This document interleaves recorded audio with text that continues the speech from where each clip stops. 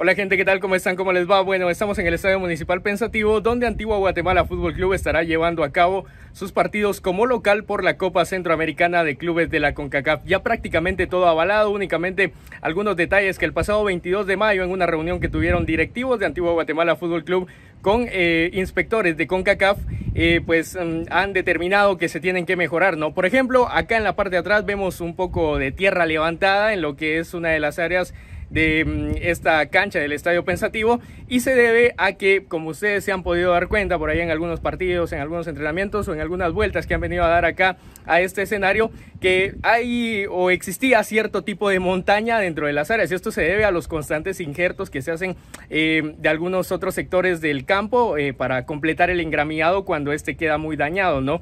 Eh, en los últimos días también se ha hablado mucho de cómo está mm, eh, la superficie del campo en eh, total, ¿no? Y esto también se va debiendo al clima que ha existido, ¿no? por algunos sectores la grama un poco amarilla, pero es que claro, el calor acá ha estado bastante fuerte en Antigua Guatemala y yo creo que con el buen trabajo que han realizado los jardineros, la grama va a llegar a tope y a un buen nivel para el Campeonato de Apertura 2024 del Día Nacional y por supuesto para este eh, Campeonato Internacional que es la Copa Centroamericana de Clubes de la CONCACAF.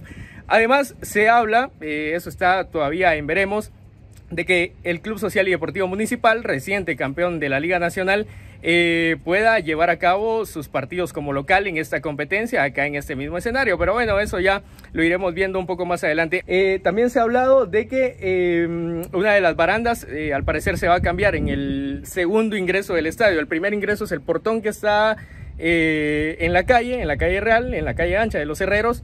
Y el segundo acceso que vendría siendo ya el acceso directo acá al estadio pensativo. Esa baranda al parecer también se va a cambiar y son de las pocas mejoras que en realidad tendría que hacer el estadio. No recordemos que este estadio hace un par de años fue remodelado eh, o remozado eh, directamente para poder albergar este tipo de campeonatos y que ya ha albergado en em, Copa Centroamericana, por ejemplo a Malacateco, a Xelajú y que también recién albergó el eh, premundial sub-17 de la CONCACAF. Pero bueno, esos son los detalles entonces de lo que está sucediendo acá en el Estadio Municipal Pensativo para poder estar a tope y bien certificados para esta competencia internacional.